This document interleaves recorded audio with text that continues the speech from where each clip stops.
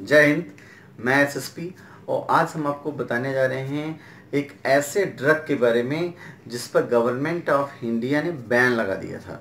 But Delhi high court का decision आया है, उसने कहा कि ये बैन रिजनेबल नहीं है और इस पर वैलिड, कहते हैं ना इविडेंसेस नहीं है।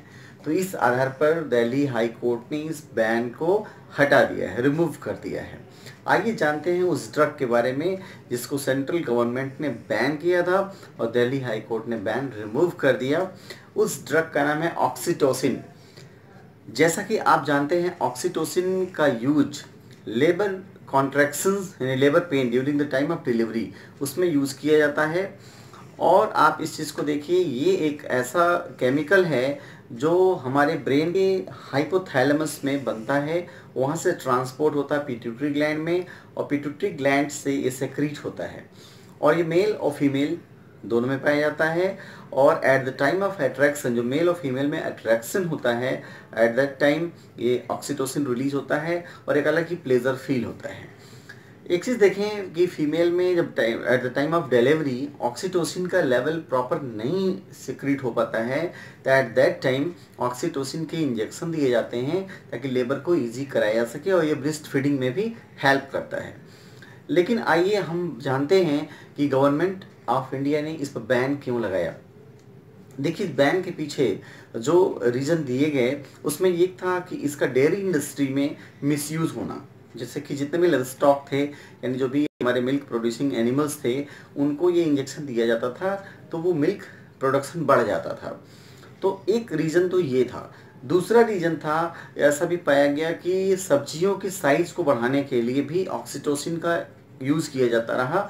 जैसे कि कुकुम्बर के केस में, गॉड्स के केस में, वाटरमेलन के केस में तो कुकुम इंजेक्शन इसके दिए जाने से सब्जियों की साइज़ बढ़ती थी तो ज़्यादा रेवेन्यू जनरेट हो सके। तीन, दो कारण ऐसे थे जिसके आधार पर गवर्नमेंट ऑफ़ इंडिया ने ये निर्णय लिया कि जो ऑक्सीटोसिन है, इसका जो प्रोडक्शन है और मैन्युफैक्चरिंग है, इसका सेलिंग है, वो केवल इंडिया में Karnataka antibiotics and pharmaceuticals limited यानी के ए पी एल ही करेगी।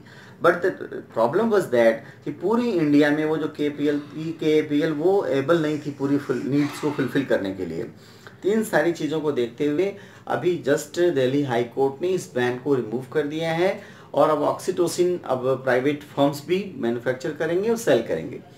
क्योंकि कोर्ट ने ये आधार दिया है कि इसका कोई वैज्ञानिक साक्ष्य नहीं है कि इसका डेयरी इंडस्ट्री में और सब्जियों में यूज़ किया जाता है।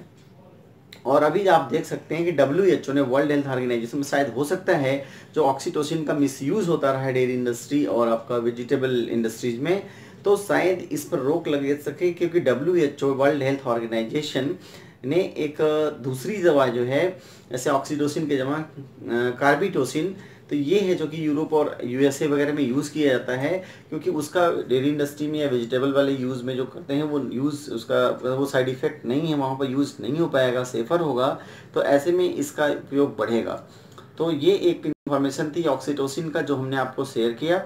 आगे फिर अदर वीडियोस में कुछ अलग इन्फॉर्मेशन के साथ मिलेंगे, और तब तक हमारा YouTube channel pharma leadership academy, आप सब्सक्राइब करिएगा, लाइक कीजिएगा, शेयर कीजिएगा। जय हिंद।